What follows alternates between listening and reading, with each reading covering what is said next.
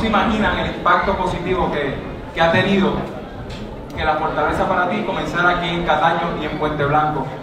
Ha sido un resurgir entre la misma comunidad para levantarse y trabajar unidos junto al gobierno de Puerto Rico y el municipio de Cataño. Fortaleza para ti lo que queremos es rescatar sectores y comunidades uniendo esfuerzos de gobierno y entidades privadas.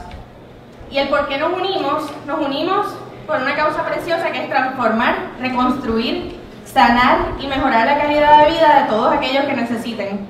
Y Puente Blanco necesitaba ayuda y aquí estamos para ayudarlo.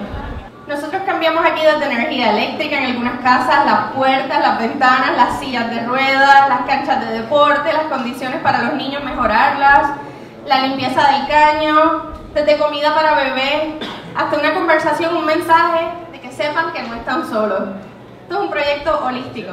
Y por supuesto, a, ya me quitaste la línea, pero el amor de mi vida.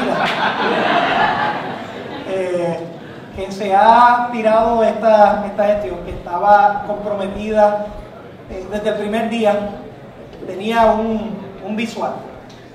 Ella me decía, oye, Ricky, yo te oigo hablando de que el equipo tiene que estar hilvanado, que, que tienen que trabajar juntos en una misma dirección. ¿Por qué no lo hacemos en vez de solamente en la faceta gubernamental de ejecución, sino ¿Por qué no nos metemos en las comunidades? ¿Por qué no le demostramos a la gente que el servicio a la ciudadanía es lo primero y es lo primordial en nuestra administración? Y firme una orden ejecutiva y yo me encargo.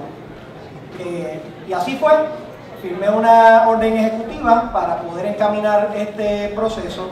Eh, ella y su equipo de trabajo han tenido unos resultados extraordinarios.